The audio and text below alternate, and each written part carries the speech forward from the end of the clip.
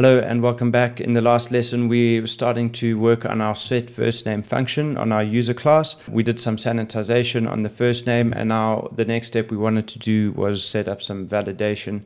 Uh, we were wanting to install a new package for this. So let's jump in straight away and get started with that. In the, the root of our server project, we're going to say npm install, and then we're going to reference this package called validate.js and we'll do a dash dash save. I'm hit enter and that's going to do its thing. Uh, once it's installed, you'll see we have validate.js in our package.json and that's looking good. We're going to import this into our file. We're going to say validate equals uh, require and then we'll just reference the package which is validate.js.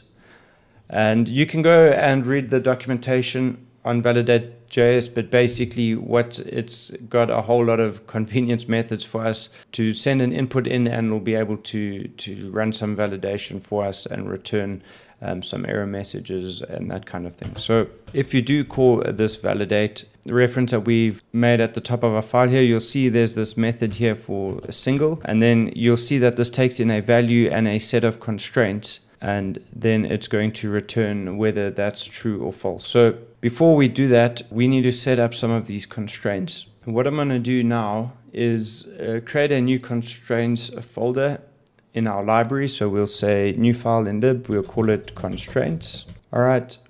And I'm just going to create a, an object that I can export. We'll do a module.exports. Cool. And the first function I want to have on here is uh, one that we're going to call name. This name function is going to return a set of constraints that relate to any name that we want to use throughout our library. To set up these constraints, the first thing is I'm going to want to set up a regex and we'll just open up a set of um, quotes here. Okay, so to get started, we're going to open up open and close square brackets and then in here we're going to have a backslash and then dash uh, backslash and then a single quote. Then we'll have A to capital Z, and then A, or lowercase a rather, to lowercase um, z. We'll have 0 to 9, and we'll allow spaces. And then we'll just add this plus sign to the end. Like I said, regexes are not my favorite thing in the world, but uh, that is going to allow us to check for, we want capital letters, lowercase letters, uh, we will allow numbers as well as a space or, or a white space in this case. All right, so now we can set up a variable called constraints, and this is going to be an object, and we're going to have the first key here, which is called presence, and then we'll have an object here we'll, where we'll say allow empty and then we'll set that to false.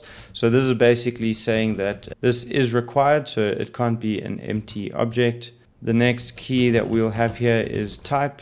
We will just say we want this to be of type string. And then the last key that we want to put in here is format. And then this will be a, another object. And then we will say the pattern of this format is the regex that we've set up before. And then we'll set a flags key here and we'll just say lowercase i. And then this last key here, message, is what will return from the function if it doesn't actually match these constraints. And then in here, we'll say name must match following pattern and then we will just add on that regex and then we will be good to go there.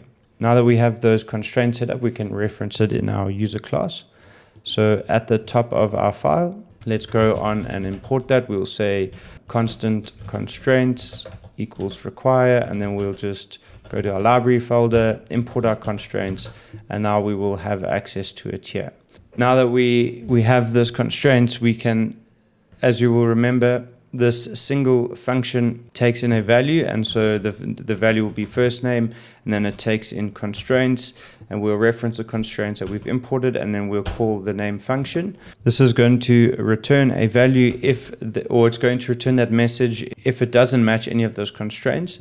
And then so what we're going to do is we're going to declare uh, or we're going to assign the output of the validate.single function to this uh, variable that we've called here message. And then what we can do is we can do a conditional check and we can say if there is a message, and in this case it's going to be that string saying that the constraints don't match, then we'll return that message.